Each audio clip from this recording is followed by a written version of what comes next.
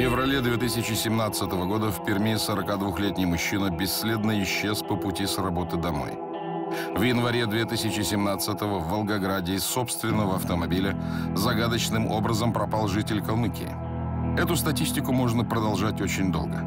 Каждые три минуты на Земле без вести пропадает один человек. Далеко не всегда причина этих исчезновений бытовая или криминальная. Все чаще следствие не может ответить на вопрос, почему пропадают люди и где их искать. Понятно, что верить э, в истории там, о тропических э, секретных лабораториях э, оголтело сразу не стоит, но никому не удивит, если они все-таки существуют. Про некоторые из них мы даже там кое-что слышали и знаем. До сих пор продолжает оставаться загадкой судьба лайнера авиакомпании Malaysia Airlines, исчезнувшего три года назад. Следов самолета, на борту которого находилось 239 человек, так и не нашли. Причины, по которым воздушное судно потерпело крушение, а возможно просто исчезло, по-прежнему неизвестны. Хозяева GPS могут э, сделать э, такие поправки, внести такие коррективы, что э, вся, вся вот мировая система э, движения, она, она превратится просто в, э, в, в хаос.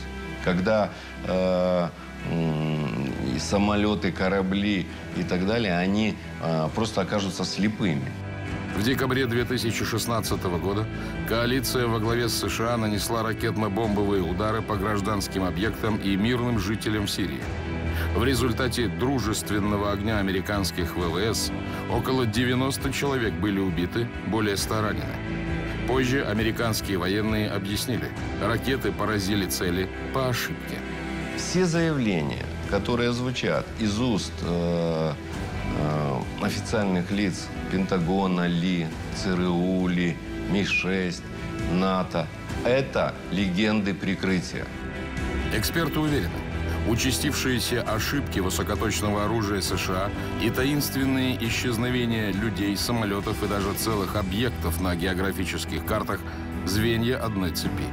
Все это может быть связано с американской системой глобального позиционирования, которая обеспечивает измерение расстояний и определяет местоположение во всемирной системе координат. Смерть через GPS. Этот термин вспоминают всякий раз, когда навигационные технологии дают сбой. Почему система глобального позиционирования, придуманная в США для высокоточного наведения оружия, больше не гарантирует попадание в цель? Как эта технология стала угрозой для безопасности всей планеты? И каким образом связаны между собой загадочные исчезновения кораблей и самолетов? Я, Анна Чапман, раскрою эти тайны. Сегодня в программе Тайны системы GPS. Добрый помощник или опасное оружие? Любой американский Боинг, особенно дальнего действия, можно без согласия экипажа при помощи системы GPS превратить в бомбардировщик и направить вместе с пассажирами на ту цель, которая нужна военная. Ни сном, ни духом. Чем грозит массовое распространение навигационных технологий?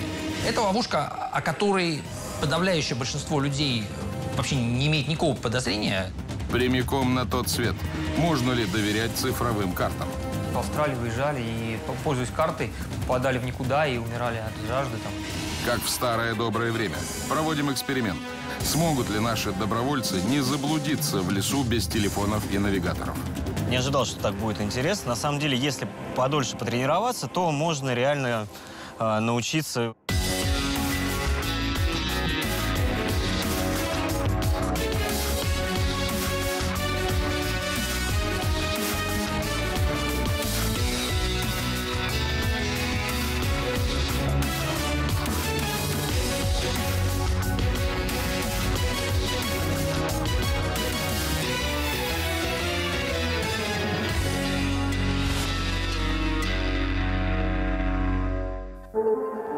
Ужасная история произошла зимой 2017 года в Ленинградской области.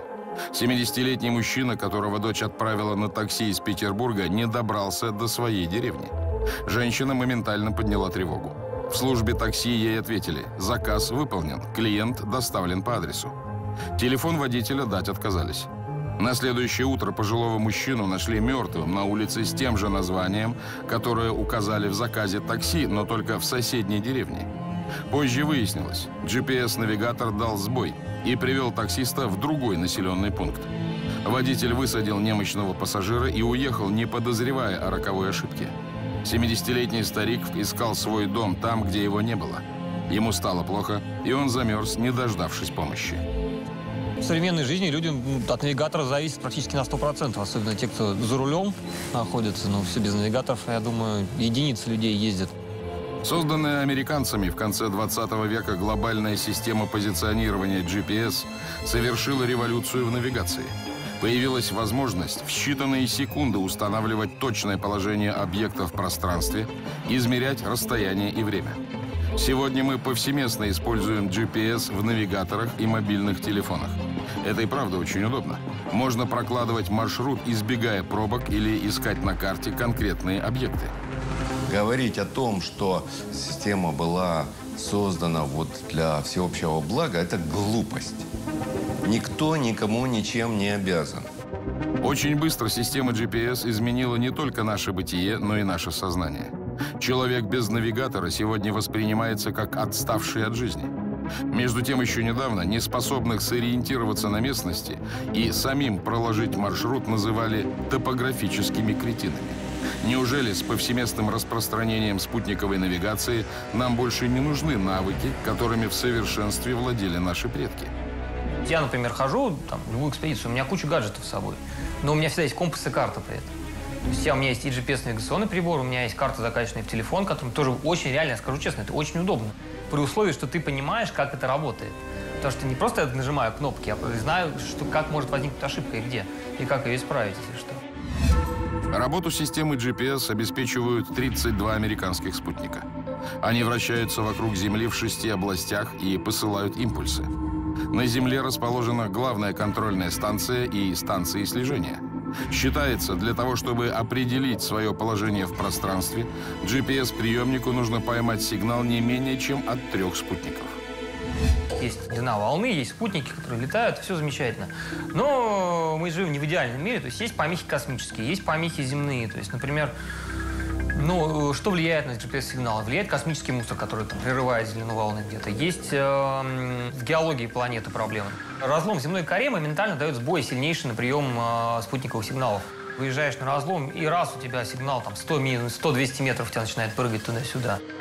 Понятно, что от погрешностей в работе не застрахована ни одна электронная технология, какой бы современной она ни была. Однако именно на сбои GPS-навигации в последние годы жалуются все чаще. Во многих случаях причины некорректной работы так и остаются невыясненными. Понимаете, в чем дело? А, всегда все решает хозяин.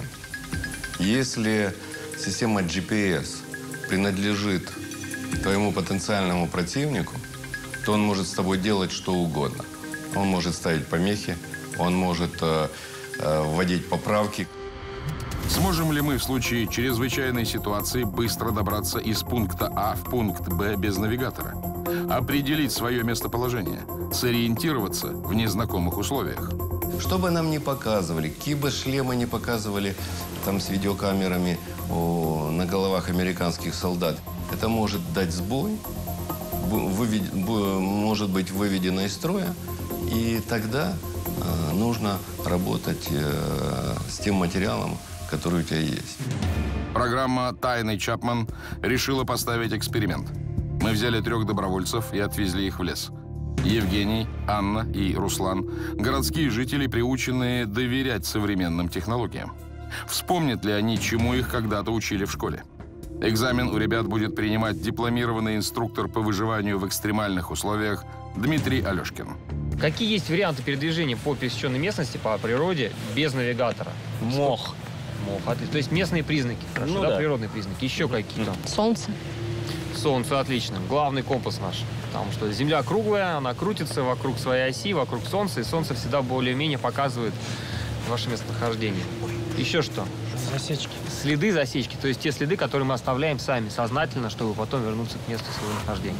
Компас. Компас, отлично. Тот способ, которым люди пользуются уже там больше тысячи лет. Что такое компас вообще? Магнит. Стрелочка, да, намагниченная. Не магнита Магнит. здесь нет, потому что магнит он не работал. Намагниченная. Это намагниченная стрелка, то есть красный конец стрелки указывает всегда на север. На этом Ага, компасе. красная на север. Я всегда Да. думал, что это на юг.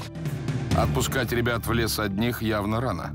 Поэтому Дмитрий подробно рассказывает, как ориентироваться по солнцу, компасу, по мху и муравейникам. Ведь в ближайшее время только эти способы помогут нашим ребятам выбраться из леса. Таковы условия эксперимента. В телефонах у всех замечательно. Есть навигатор, есть красивая картинка, которая вам показывает, что вокруг. Представьте все, что это больше этого нет.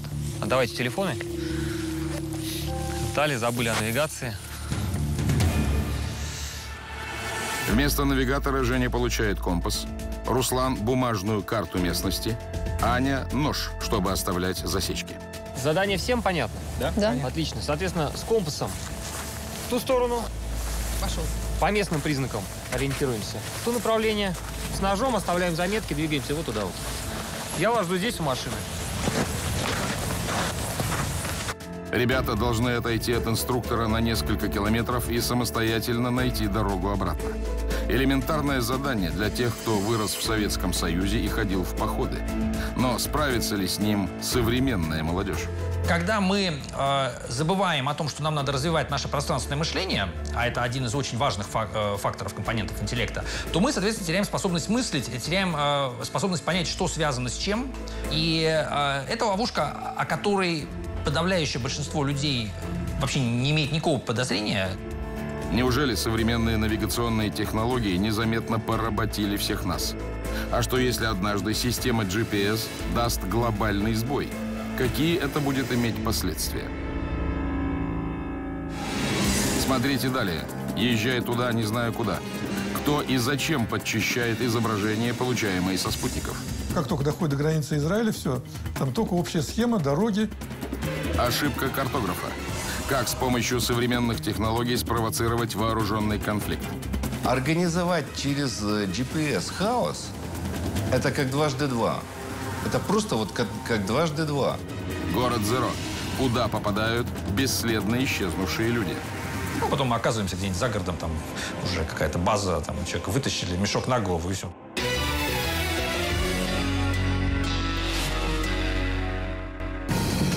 Многие уверены, все разговоры о том, что мы стали заложниками высоких технологий, это всего лишь очередная страшилка, придуманная сторонниками теории заговора. Однако торопиться с выводами не стоит. И представляете, эта система разом накроется. Почему это элементарно? Бывает, есть там... Это будет по техническим причинам может произойти какой-то сбой в системе. Летом и осенью 2016 года москвичи и приезжие не раз сталкивались с массовыми сбоями в системе GPS.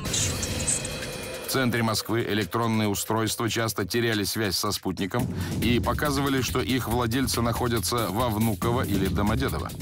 На внезапную смену локации жаловались и водители, и охотники за покемонами, которым никак не удавалось заарканить неуловимых зверюшек.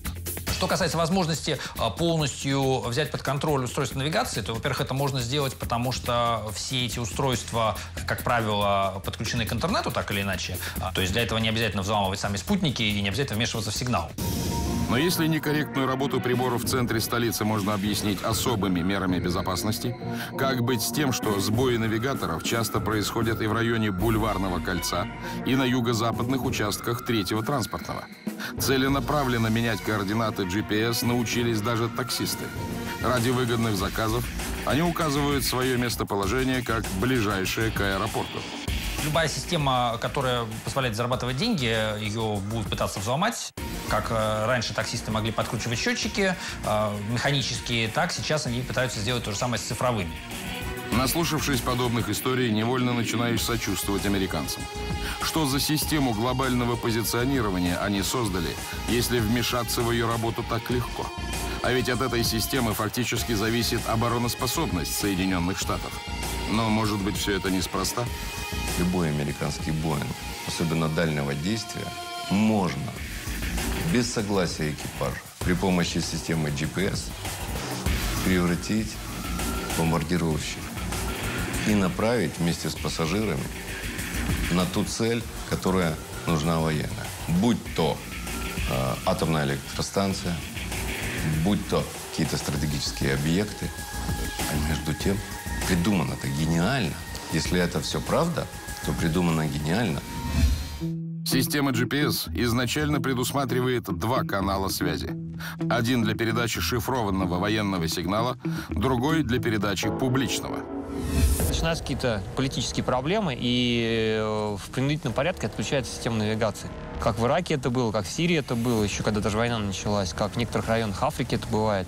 В Европе тоже на Балканах в случае конфликтов отключается система навигации. И все, и человек остается без устройства. Гражданский сигнал GPS может быть изменен как специалистами в области электронной безопасности, так и самим оператором. GPS – это ресурс. Да, он может быть оружием. Но не от хорошей же жизни при не бог весь каком бюджете мы пошли на колоссальные затраты для того, чтобы э, создать свою систему. Система ГЛОНАСС на сегодняшний день – это важнейший, просто важнейший шаг в обеспечении э, безопасности нашей державы. Несколько лет назад американцы отказались размещать на своей территории станции российской системы ГЛОНАСС, с помощью которых точность и надежность глобального позиционирования могли бы стать выше. Ведь исказить сигнал от большего количества спутников гораздо труднее. По странному стечению обстоятельств, вскоре по миру прокатилась волна скандалов, доказывающих уязвимость системы GPS. Началось все с яхты, которая изменила курс, следуя фальшивым сигналам GPS, переданным с ноутбука. Вслед за этим неизвестные хакеры ввели в систему координаты двух кораблей, которых на самом деле не существовало. А потом и вовсе вмешались в работу космических спутников. В результате три из них сменили стороны горизонта, а четвертый потерял орбиту. В завершении всего последовало признание главы исследовательского подразделения Пентагона – Ал Шафер, как будто забыв, что система GPS имеет двойное назначение, во всеуслышание заявил, доверять показаниям GPS становится все труднее. В условиях, когда э, сегодня э, идет переформатирование всего мира, все заявления, которые звучат из уст э, э, официальных лиц Пентагона ли, ЦРУ ли, Ми-6, НАТО – это легенды прикрытия. Потому что э, если бы эта система GPS была ненадежна, я вас уверяю, никогда бы никто не позволил э, об этом сказать вслух. Никогда. Однако глава исследовательского подразделения Пентагона публично расписывается в несостоятельности американских вооруженных сил. Он заявляет, Перехват или глушение частоты GPS могут стать причиной нарушения работы системы вооружения. Но одно дело обычная яхта, а другое крылатая ракета «Томагавк». Сложно поверить, что в том и в другом случае система GPS, которая отвечает за позиционирование объектов, одинаково уязвима. С помощью э, дезинформации можно создать иллюзию, что да, вот э, система GPS, она очень уязвима от русских хакеров. Вот они просто уже что хотят, там и делают. Они перенацеливают наши ракеты, а потом обвиняют нас, что мы свадьбы расстреливаем и так далее. Вот, вот суть э, вот этого противостояния. Выходит, под предлогом неточной работы навигационного оборудования или создаваемых кем-то мифических помех можно разбомбить все, что угодно и остаться безнаказанными. Парадокс в том, что, становясь якобы невысокоточными, американские крылатые ракеты и бомбы превращаются в куда более опасное оружие. Военные как будто заранее предупреждают. Возможно попадание в цели по ошибке. Никакая навигационная система не сможет работать без привязки к картам. А точная карта – это фактически пропуск на чужую территорию. Недаром во все времена карты старались засекретить или составляли два экземпляра. Один содержал настоящие сведения, второй – ложные. Можем ли мы быть уверены, что век высоких технологий положил конец эпохи неточных карт? Феврале 2016 года чемпион России по лакроссу Николай Ефимов разбился в Крымских горах. В темноте он прокладывал дорогу с помощью навигатора. Прибор поймал сигнал со спутника, определил координаты и нарисовал тропу на месте, где были сплошные обрывы. Николай сорвался в пропасть и погиб. Навигатор – это система, которая дает вам точку, код. Да? А дальше, что делать с кодом, это уже ваше дело. Мы берем аналитику в виде этих программ и вкачиваем туда, ну, собственно, за счет наших гаджетов этот код. А дальше, как этот код там расшифровывается и куда он привязывается, это уже не вопрос навигационной системы, это вопрос исключительно той подложки, которой мы пользуемся. Но почему в эпоху спутниковой фотосъемки из космоса, когда на поверхности планеты можно разглядеть даже спичечный коробок, карты оказываются неточными? Причем неточными фатально. В Австралию выезжали и, пользуясь картой, попадали в никуда и умирали от жажды там. Все дело в том, что с самых древних времен точность при создании общедоступных географических карт нарушали намеренно. Был случай, когда это в первом веке нашей эры, э, когда гунны и китайцы э, враждовали, воевали. И вот был случай, когда две армии шли навстречу, чтобы э, сражение произошло. И вот из-за этих обманных карт войска просто разошлись там на большом расстоянии. Они просто не встретили друг друга. В разные времена и в разных странах в целях безопасности точные географические карты засекречивали, а общедоступные выпускали с ошибками. В Советском Союзе на карты нередко наносили несуществующие дороги, а настоящие дороги показывали совсем в другом месте. Например, вместо военной части писали «пионер-лагерь». В Подмосковье куча идешь, написано «пионер-лагерь» в лесу. Приходишь, а там не пионер-лагерь. Нередко данные для современных цифровых карт брали с устаревших бумажных источников. Стоит ли удивляться, что люди, которые пользуются такими картами, пропадают без вести? Не так давно американские полицейские, которым надоело вытаскивать несчастных из долины смерти, заявили «Прекратите полагаться на карты из смартфонов». Даже если их создали с помощью цифровых технологий, нет гарантий, что широкая просека не окажется узкой тропой над обрывом. Гугловские снимки дают масштаб э, до 20, по-моему, метров на сантиметр. То есть, ну, картинку. Да?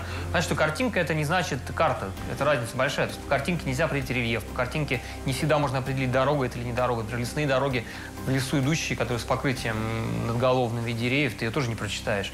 И так далее, и так далее. Эксперты считают, современные цифровые карты могут быть даже опаснее своих недостоверных бумажных предшественников. Ведь с появлением онлайн-навигации на многих пользовательских серверах карты оказались доступны не только для просмотра, но и для редактирования. Любой пользователь может добавить свою информацию, и неизвестно, какими мотивами он при этом будет руководствоваться. Сейчас любой любитель в этих народных проектах может либо с целью хулиганства, либо с целью некой зловредной, даже можем так сказать, записать трек условно существующей дороги, это, это действительно большая проблема всех вот, таких вот э, карт, за которые никто не отвечает. Может быть, человечество поспешило отказаться от старых, проверенных не одним поколением способов ориентирования. Конечно, они не так быстры и удобны, как современные. Но зато никакой злой умысел не сможет изменить движение Солнца или рост веток на дереве. Напомним, Наши добровольцы, Женя, Аня и Руслан, отдали все средства навигации и разошлись в лесу в разные стороны. Получится ли у них самостоятельно вернуться к месту сбора? Ребята используют проверенные веками методы ориентирования и вспоминают наставления инструктора Дмитрия Алешкина. Женя прокладывает дорогу по компасу. Надо его разместить горизонтально, чтобы стрелка могла свободно двигаться. Ничего железного рядом не должно быть металлического. Стрелка намагничена, всегда указывает линию север-юг. Второй участник эксперимента Руслан получил от инструктора карту местности. Казалось бы, ему должно быть проще всех. Но, глядя на озабоченное лицо Руслана, этого не скажешь. Руслан пытается ориентироваться не только по карте, но и по природным признакам. Стараемся найти более-менее высокое дерево, стоящее прям не, не в дубраве, не в зарослях. Вот, например, есть отдельно стоящие сосны вот здесь, по ним видно, что прям большая часть веток, наиболее пышная часть веток, растет на одной стороне. Где? Там, где и больше солнечного света, тепла, на юге. Анне достался самый нетипичный навигационный прибор – охотничий нож. Она старательно делает зарубки на деревьях и, похоже, продвигается вполне уверенно. Это самый простой, вот, даже не обращать внимания там, ни на компас, ни на солнце. Вот это, мне кажется, это каждому доступно. Скоро мы узнаем, справятся ли наши герои с заданием до конца, и кто из них первым придет в условленное место. «Создать мир легче, чем понять его», — говорил французский писатель Анатоль Франц. Не случайно с самых древних времен именно картография стала одним из важных инструментов геополитики. Вопрос, э, как относиться к картам и к той реальности, которую они определяют, он э, э, гораздо интереснее, чем просто давайте нанесем это значит, в Google карты и все, и мы разобрались. Потому что ну, как бы, с помощью карт мы можем менять реальность в 2010 году между Коста-Рикой и Никарагуа чуть было не вспыхнул вооруженный конфликт. Это произошло после того, как на сайте известной поисковой системы опубликовали географическую карту с неверно указанной границей между государствами. Еще одним предметом спора стал остров Калеро, давно принадлежавший Коста-Рике. Электронный ресурс указал, что остров является частью Никарагуа. В результате к никарагуанской границе были стянуты вооруженные силы Коста-Рики. А знаете, когда речь идет о геополитике и когда речь идет о том, чтобы в какой-то части земного шара организовать э, локальный вооруженный кон конфликт, э, здесь э, никаких случайностей нет. Все системы, которые созданы и на которые затрачены колоссальные деньги, они созданы для того, чтобы обеспечивать геополитику, обеспечивать военных и так далее, и так далее. Организовать через э, GPS хаос – это как дважды два. Это просто вот как, как дважды два. Под давлением мирового сообщества создатели поисковой системы признали, они ошибочно передали Никарагуа часть костариканской территории – Однако досадные оплошности на этом не закончились. Поисковик с завидной регулярностью ошибается то в пользу одних, то в пользу других государств. Если посмотреть глубже, то надо задаться вопросом, откуда такие компании берутся. А, например, InQtel а, – это фонд, который открыто финансируется ЦРУ и был создан для разработки а, потенциальных технологий двойного назначения, которые нужны и разведке, и гражданским. Многие эксперты считают, Виртуальные ошибки картографических сервисов – это намеренная провокация, которая осуществляется для подготовки к реальному переделу мира. Но в чьих интересах? Разумеется, правительство США. Казалось бы, благодаря космическим спутникам современный человек видит мир как на ладони. Почему же даже на самых подробных картах остаются белые пятна? Как утверждают разработчики поисковых систем, это сделано для того, чтобы информацией о расположении стратегических объектов не могли воспользоваться террористы. Но только ли в этом причина подобных искажений? Если вы думаете, что спутниковые карты позволяют взглянуть с высоты птичьего полета на любой уголок Земли, то вы ошибаетесь. К примеру, мало кто из нас бывал в Северной Корее. Подробно рассмотреть ее из космоса тоже не получится. Страна, конечно, присутствует на снимках, но без дорожных маркеров, названий улиц и других важных деталей. Такая же картина и во многих других странах. Если вы приедете в Израиль и попробуете в интернете посмотреть с точностью до дома координаты того же Иерусалима или Тель-Авива, вы там не найдете ничего. То есть интернет показывает с достаточной детализацией карту Египта, карту Иордании, но как только доходит до границы Израиля, все, там только общая схема, дороги. На современных цифровых картах есть несколько десятков объектов, увидеть которые просто невозможно. Например, авиабаза «Волкель» в Нидерландах. По некоторым сведениям, там хранятся американские термоядерные авиабомбы в несколько раз мощнее тех, что были сброшены на Хиросиму. Еще одно загадочное место – территория военного аэродрома в штате Юта. Во время Второй мировой здесь разрабатывали и тестировали отравляющие вещества. Считается, что сейчас на этом месте находится главный американский центр испытаний биологического оружия. Объект не обозначен на карте. Точно так же, как военные базы на Тайване, ядерный исследовательский центр «Маркуль» во Франции, комплекс, созданный на Аляске в рамках проекта «ХААР», или «Зона 51» в штате Невада. На первый взгляд ничего удивительного. Любая страна стремится засекретить свои военные базы. Правда, некоторые эксперты сомневаются, что объекты на электронных картах размывают исключительно из соображений стратегической безопасности или для предотвращения террористической угрозы. Когда мы говорим про секретные объекты, то э, в обществе существует отношение, что пока что-то не доказано, это можно отбрасывать как теорию заговора. То есть кто-то говорит, что спецслужбы за мной шпионят, и человека поднимают на смех, отправляют в психушку, как, например, Хемингуэя э, отправили в психушку из-за того, что он думал, что его прослушивает ЦРУ. Когда он умер и прошло некоторое время, ЦРУ рассекретила документы и выяснилось, что да, действительно, они за ним шпионили. Существует немало предположений, что на самом деле прячут от любопытных глаз. Это могут быть секретные тюрьмы или тайные исследовательские лаборатории.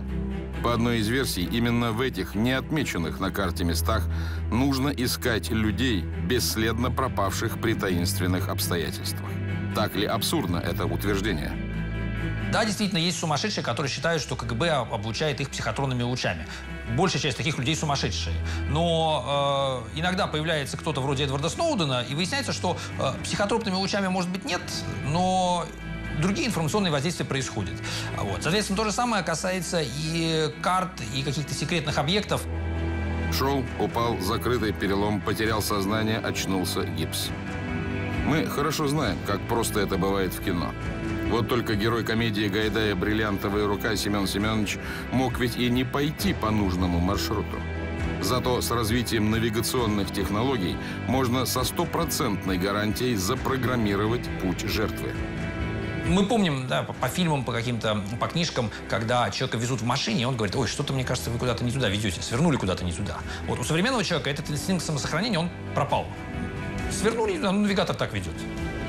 Ну, потом мы оказываемся где-нибудь за городом, там уже какая-то база, там человека вытащили, мешок на голову, и все. Он такой, «А как так получилось? Вот навигатор привез вас сюда. О случаях, когда GPS-технологии использовали для похищения или устранения людей, официально ничего не известно. Но значит ли это, что такого не может быть? С каждым годом гаджеты становятся все умнее, а значит опаснее. Сейчас в этих устройствах появились так называемые журналы. Нас приучают к тому, что нашу жизнь каталогизируют. Мы каждую поездку уже на чьем-то сервере оставляем. Хорошо ли это плохо? Я не готов ответить. Это реалии нашей жизни. Передвижения и запросы каждого владельца навигатора можно собрать и проанализировать. Что делать с этой информацией дальше – это уже следующий вопрос. Смотрите далее. Кто платит, тот и заказывает. Куда уходят наши персональные данные? АЗС определенного бренда, либо определенного рекламодателя, вот она оказывается у вас вот, вот неожиданно ближайшей всегда. По навигатору и без него. Кто из водителей доберется первым до финиша? Проверим на практике. Маршрут построен. Через 200 метров поверните налево, во двор, а затем развернитесь. Идите лесом. Смогут ли наши добровольцы найти дорогу, ориентируясь по компасу и бумажной карте? Технология – это хорошо, но голова всегда лучше. Главное понимать, как все работает.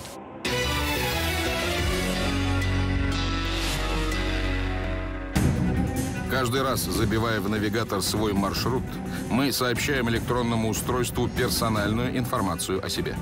В какое время передвигаемся, где делаем остановки. Очевидно, что пригодиться эти данные могут для самых разных целей. Для чего это надо? Я, размышляя вот над подобными сценариями, э, в онлайн-навигациях, э, особенно принадлежащих, там, не знаю, поисковым гигантам, гигантам, которые зарабатывают на рекламе того или иного, вижу, в принципе, достаточно реалистичную картину. Но, например, вот вы ищете АЗС, и у вас вот в поиске оказывается АЗС определенного бренда, либо определенного рекламодателя, вот она оказывается у вас вот, вот неожиданно ближайшей всегда, несмотря на то, что вы прекрасно знаете, что есть вот АЗС на соседней улице. Ради 300% прибыли капитал пойдет на все.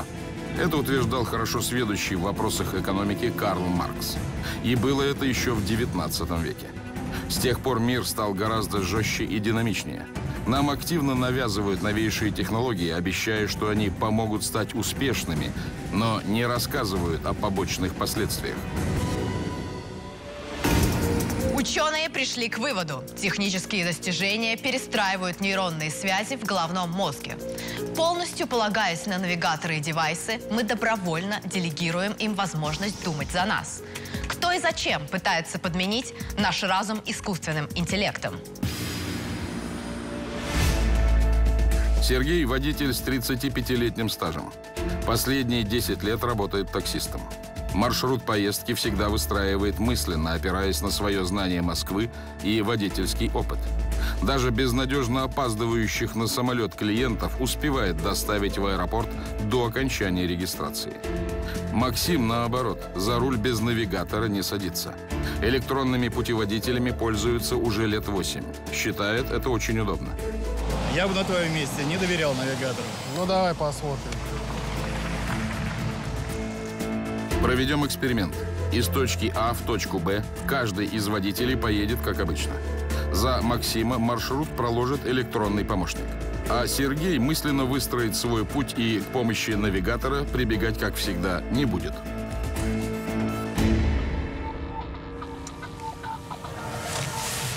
Электроника, навигация все остальное. Вещь очень хорошая, нужная, но вот мое мнение, с ним нужно быть поосторожнее. Я это считал и считаю. Глупо, если где-то тебе говорят, что перекрытие или пробка, и просто в нее ехать. Но голову надо включать в первую очередь. Место старта Воробьевы горы, улица Косыгина. Место финиша – смотровая площадка Москва-Сити на набережной Тараса Шевченко.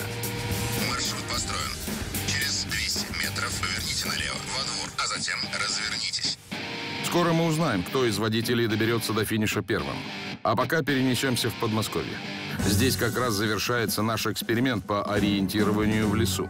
Напомним, Евгений, Анна и Руслан разошлись в разные стороны. Получилось ли у них найти дорогу обратно с помощью компаса, бумажной карты и подручных средств? В ожидании ребят инструктор Дмитрий Алешкин провел уже полтора часа. И вот первой на горизонте появляется Аня. Отлично. Вернулась. Да. А, как оказалось, самый простой способ. Как ты ушла, так и пришла. Да, да. Самое простое. Самое надежное. На самом деле очень просто и удобно. Оставляешь свежую зарубку, и буквально ее видно. Очень Обратно ярко выделяется. сразу, да, да, очень бросается в глаза, и легко найти дорогу обратно. О, еще один. Второй. Отлично, да. Компас тоже. Вот практически навигатор готов. Ну да. Отличная штука компас. Э, Не ожидал, что так будет интересно. На самом деле, если подольше потренироваться, то можно реально э, научиться обходиться вообще без любого гаджета. Вообще супер история. Мне понравилось. Вот и последний наш товарищ. На силу вас нашел вообще. Ну, Было не самый просто, сложный деле, способ, да. конечно. Это самая такая методика, которая требует наибольшее количество опыта, конечно. На самом деле было непросто с этой картой. Я понял, что, ну, как бы неопытному человеку тяжело на самом деле. Да и по местным признакам тоже надо уметь ориентироваться. Но вообще интересно, конечно. Надо учи- учиться этому, хотя бы азам. Ну, зато это опыт, проверенный столетиями. Опыт наших предков. Так они ориентировались раньше. Ну, вообще, на самом деле, интересно очень. Вернулся, молодец. Спасибо. Надеюсь, что что-то у вас в голове, конечно, отложится. А, всегда помните о том, что технологии — это хорошо, но голова всегда лучше. Тем временем в Москве участник нашего второго эксперимента, водитель Максим, стремится приехать на смотровую площадку Москва-Сити первым. Навигатор ведет Максима по третьему транспортному кольцу, но неожиданно теряет сеть. Пропала сеть, потом выключился и все. Ты не знаешь, куда ехать. Максим признает, такое случается не так уж редко. Бывает, за время, пока навигатор приходит в себя, водитель успевает свернуть не туда. Проложенный маршрут сбивается. Когда прибор снова начинает работать, схема проезда перестраивается. В итоге время в пути может увеличиться в несколько раз. Другой участник эксперимента, профессиональный таксист Сергей, именно по этой причине к навигаторам относится скептически. Прогресс, конечно, хорошо, но электроника, она ведь ей свойственно разряжаться, отключаться, все что угодно. Навигатор просто впадает в кому. Он отключается. Все, он перестает работать, и ты абсолютно безоружен, если ты не готов, не знаешь города. В отличие от Максима, Сергей не поехал на третье транспортное. Он сразу повернул в сторону набережной. Но, возможно, именно там его ждут пробки, которых по совету навигатора избежит Максим. Смотрите далее. Почему врет навигатор? Хитрости производителей и капризы алгоритмов. И он вот рисует эти пробочки, вот, собственно говоря, субботним утром или днем в Москве. Неравноценный обмен. Чем приходится платить за свою тягу к удобству и комфорту? пластичность мозга и неработающие структуры мозга, они, ну, по-простому скажем, становятся ленивыми. Маршрут построен. Не стоит ли нажать на тормоза? Это был критический набор навыков, и когда мы его упускаем, теряем, то э, теряется самостоятельность, независимость человека полностью.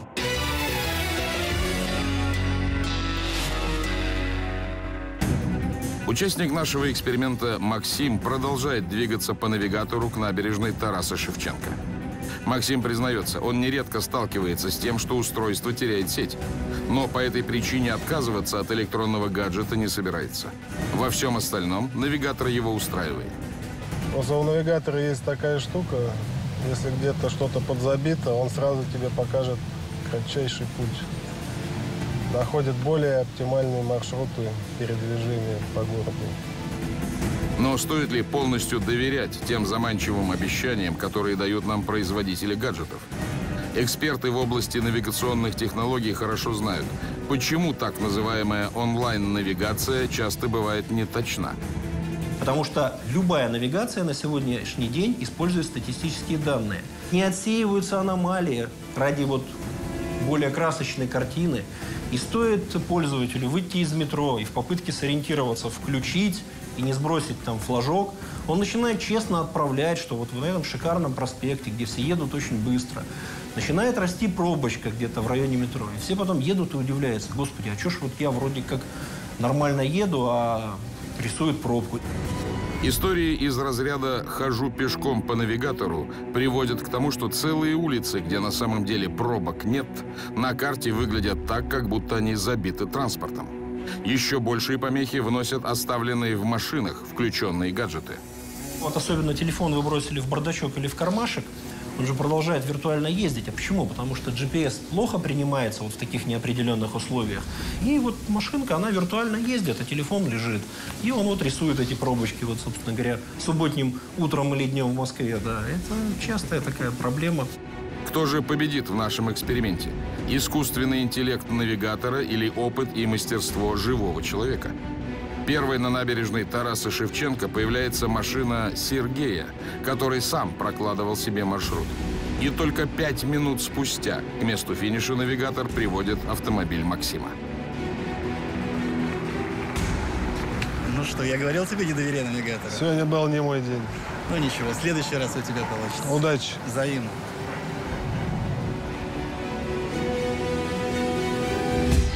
От улицы Косыгина до набережной Тараса Шевченко Максим добрался по навигатору за 18 минут.